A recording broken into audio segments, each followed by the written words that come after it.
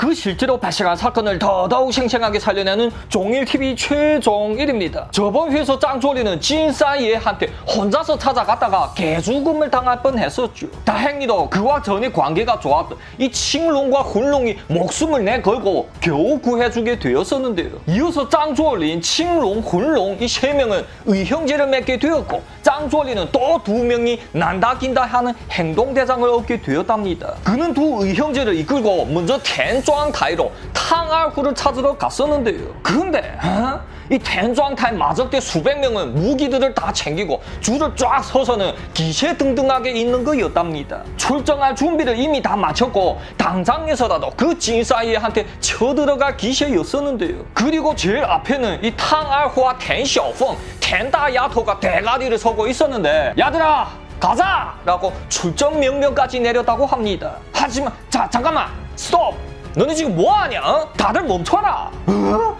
그 잘못된 줄만 알았던 짱조린이 갑자기 나타나는 거였었는데요. 아이고 아우야 너 살아있었구나 야. 탕알후는 그 짱조린을 보자마자 막 달려가서 꽉 안아보려고 하는데 어림도 없었다고 합니다. 이 텐셔펑이 이미 앞질러서 그 짱조린이 품에 푹 안기면서 엉엉 우는 거였었는데요. 됐다 텐셔펑아 울지 말라.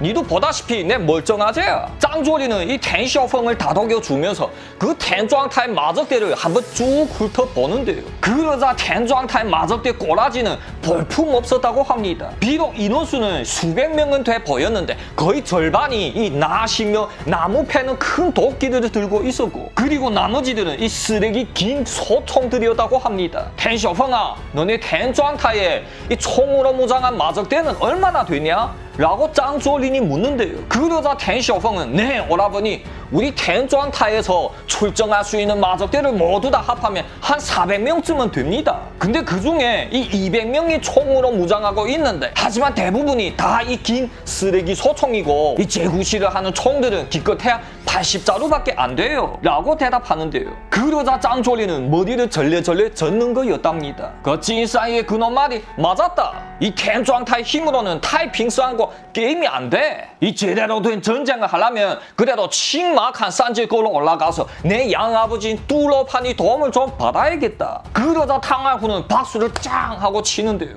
그래 아우야 네 말이 맞다. 그리고 내 한 가지만 더 보태자면 어차피 싸워야 되는 거라면 우리 쪽에 희생을 좀 더 적게 해야 되지 않겠니? 그 탈핑스한 그놈들 다른 건 몰라도 이 성체 하나만 아주 단단하게 지어놨네라. 무작정 쳐들어가려면 크나큰 희생이 따를 거거든? 내가 전에 잘 관찰했었는데 이 타이핑산을 먹으려면 대포가 무조건 필요하다. 우리 칭마간 산지 거에 큰 공성용 대포만 하더라도 총 20대가 되거든? 또 러판 어르신한테 부탁 드려서 한 다섯 대만 빌려와도 이 놈들 성을 함락시킨 데는 문제 없다. 네, 이 탕알후는 역시 수많은 전쟁을 겪으면서 어디 가나 척 보면 그냥 다 척 알았다고 하는데요. 알았어, 형님. 그러면 우리 바로 가봅시다. 대쇼펑아 너희 군사는 섣불리 움직이지 말고 내가 대군을 먹어올 때까지 기다려라. 내가 돌아오게 되면 그때는 놈들 아주 확실하게 다 쓸어버릴 테니 알았니? 그렇게 짱조리는 탕알후와 그의 직속 부하들과 함께 이라짜 하고 떠나는데요. 한시라도 늦으면 더 큰 일들이 발생할 수 있으니 그들은 아무 말도 없이 최고 속도로 달리고 달렸답니다. 또한 이번에는 탕알후도 있었으니 길도 잘 알았고 이 칭막한 산제거에 금방 도착하게 되는데요. 이어 그들은 다짜고짜 마저굴이 제일 안쪽에 위치해 있는 이 두목들 방으로 우르 몰려 들어가는데요. 그러자 이 안에는 마침 여러 두목들이 다 있었다고 합니다. 뚜러판이 친형제 4명의 보스들과 뚜리산 이 최고의 총 잡이꾼도 있었다고 하는데요. 하하하하 내 아들 짱조린이 왔구나. 사실 어젯밤에 내는 니놈 꿈을 꿨거든. 그래서 아침에 이 너희 어미와도 얘기를 나누는데 오늘 이렇게 딱 맞춰 오네. 뚜러파는 짱조린을 보자. 그렇게도 반갑게 맞이하는데요. 네 아버지. 그래서 저 이렇게 부랴부랴 찾아온 게 아니겠습니까? 저 또 요번에 이 두 명과 의형제를 맺게 되었습니다. 자 칭롱, 혼롱 우리 아버지한테 인사드려라. 이 짱조린은 칭롱과 혼롱을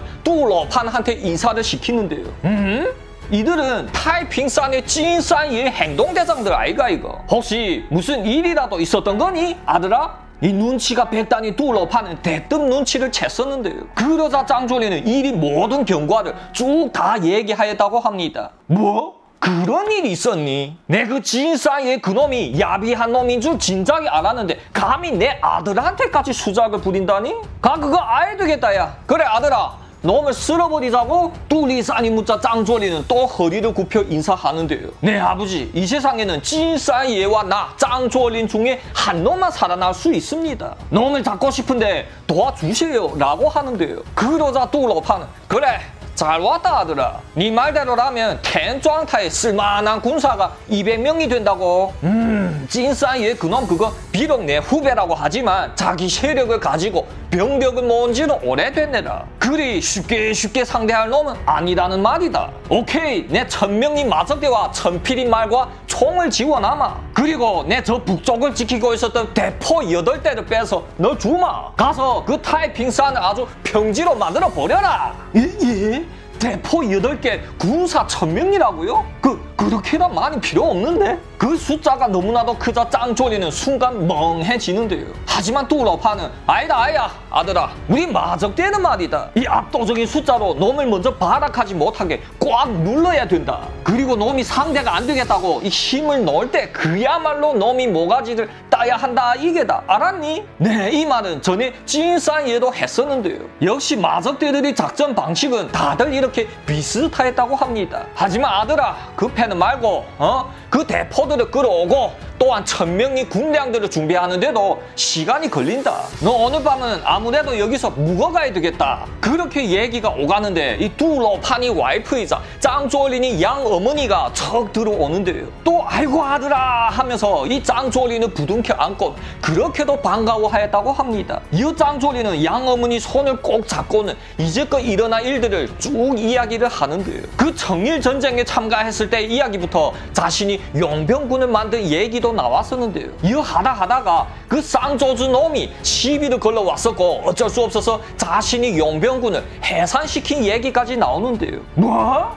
그러자 이 곁에서 듣고 있던 뚜로판이 발끈하는 거였답니다. 아들아, 너 이러면 아이 된다. 어? 용병군을 만들겠으면 제일 먼저 나 이 아버지를 찾아왔어야지. 아무것도 없이 어떻게 용병군을 다 만드니? 말이 용병군이지 요즘은 마적대와 별 다를 바가 없는 세월이다. 자기 힘이 없으면 이 주위의 놈들이 찾아와서 강제로 병합을 해버리려 하는 건 일도 아니지. 근데 뭐? 30명부터 시작해서 만들었다고? 그러니 쌍조즈 그러한 작걸들도 접근하는 게 아니겠니? 그러자 짱조린도 난처해 하는데요. 그러게 말입니다, 아버지. 제가 다 이 세상을 너무나도 쉽게 쉽게 본 거였죠. 하여 쌍조즈 그놈이 보복할까봐 이 아버지를 찾아오려 했는데 그 와중에 이렇게 많은 일들이 발생한 겁니다. 음... 그러자 뚜로파는 한참 동안을 고민에 잠기는 거였답니다. 야들아! 그 밖에 위기 없느냐? 가서 탕알호와 짱징회를 불려 들어라. 뚜러파는 이 밖으로 향하여 소리 지르는데요. 그러다 얼마 안 지나서 이 탕알호와 짱징회가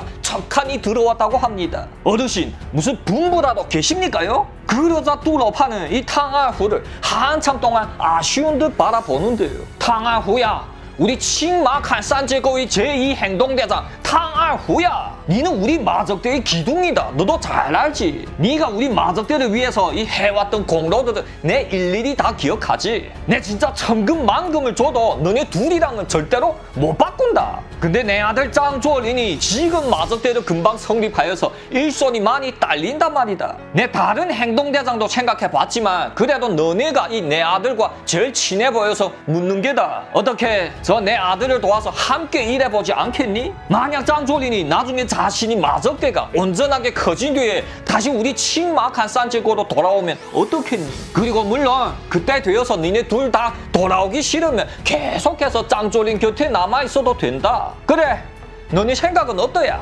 네, 이 뚜러파는 이렇게도 짱조리는 끔찍하게 아꼈었는데요. 그러자 짱조리는 너무나도 감격하여서 이 두 무릎을 탈썩 구르면서 땅바닥에 머리를 땅땅 박으면서 절을 하였다고 합니다. 그러한 난시에서 제일 값어치가 있는 게 뭐겠습니까? 그것은 바로 인재가 아니겠습니까? 천준 이더 이장 난초라고 천군만만은 만들기 쉬워도 제대로 된 장군 한 명을 얻기는 그렇게도 바쁘던 시기였었는데요. 그렇게 그 뒤부터 탕알호와 짱징회는 짱조리는 따르게 되었으며 그들이 활약이 이제 정식으로 시작되게 되었답니다. 이 짱징회는 제가 얘기를 많이 하지 않았지만 이 탕알후의 오른팔로서 이제 그 탕알후가 어디에 있으면 항상 그의 곁에 있었다고 보시면 됩니다. 짱조리는 그렇게 이 탕알후와 짱징회를 얻으면서 처음으로 눈물을 보였다고 하는데요. 하하하하! 내 아들이 눈물 보일 때도 있구나야. 내 처음 봤다. 그래, 이 탕알후 같은 대장군을 얻으면 눈물이 나올 만도 하지. 여기서 이놈은 사람을 중히 여기는 놈이란 게 잘 보인다. 그러니 나도 안심된다. 아들아, 부디 이 큰 인물이 되어서 에? 이 높게 높게 날아올라라. 그렇게 짱조리는 그날 밤 양아버지와 양어머니와 함께 술도 한 잔 마시면서 밤새 이야기를 나눴다고 합니다. 이 짱조리는 이 힘든 몸을 이끌고 그의 룸으로 돌아가는데요. 하지만 이 짱조리는 침대에 털썩 눕자마자 온갖 생각이 막 떠오르면서 잠이 오지를 않는데요. 이런 짱쿨가 모시고 있는 자신이 가족들은 안전한지 텐조안카이 쪽은 어떻게 조용한지 혹시라도 그 찐사이의 쪽에서 움직이지는 않았는지 걱정이 많았었다고 합니다. 그렇게 뒤집고 뒤집던 짱조리는 드디어 실면을 하게 되는데요. 하지만 날이 밝으면 여덟 대의 대포도 도착할 것이고 그렇게 되면 이 천명리 군사를 거느리고太平산으로 전쟁하러 가야 할 게 아니겠습니까? 짱조리는 눈을 꼭 감고는 계속하여 잠을 청해 보는데요. 하지만 이때 이 짱조린이 룸 밖에는 어두운 그림자 하나가 어슬렁 어슬렁 거립니다. 이놈은 창문으로 이 안에 짱조린이 누워있는 걸 보더니 품 안에서 비수를 꺼내 드는데요. 이 짱조린이 침실 창문으로는 못 들어가고 이 거실의 창문을 조용히 째고 기어드는 거였었는데요. 여기서 이 창문을 째고 들어간다면 이해가 안 될 수 있는데요. 왜냐하면 그 시절의 창문들은 다들 종이들로 막아놨을 때였다고 합니다. 이어 이놈은 조심조심 들어오더니 이 시퍼런 비수를 빼들더니 짱조린한테로 다가가는데요. 하지만 하지만 말입니다. 짱조리는 지금 잠이 못 들었잖아요. 거실 창문 쪽에서 소리가 났을 때는 이 긴가민가 했었는데 하지만 이 자기 방의 문이 열리는 소리까지 듣자 벌떡 일어났다고 하는데요. 어? 너 뭐하는 놈이야? 이 짱조리는 놈을 발견하고는 그의 비수를 손으로 꽉 잡은 채로 몸싸움을 해대는데요. 이룸 안에서 와장창 와장창 하고 뭐가 깨지는 소리가 나자 이 곁에 룸에 있던 한 남자가 달려 들어오는 거였었는데요. 네 그러면 이건 과연 누구였을까요? 이제는 그 짱조린이 왼팔로 된 탕알후가 아니겠습니까? 너 이놈 하면서 우레 같은 고함 소리 지르며 달려드는데요. 탕알후 이 호랑이 같은 놈한테 꽉 잡히자 이 자객 놈은 꼼짝달싹 못하였다고 합니다. 그러면 이 자객놈은 과연 누가 보내서 온 거였을까요? 다음 회에 계속하겠습니다. 재밌게 시청하셨으면 구독과 좋아요 쾅쾅 박아주시고요. 다음 회에 또再见。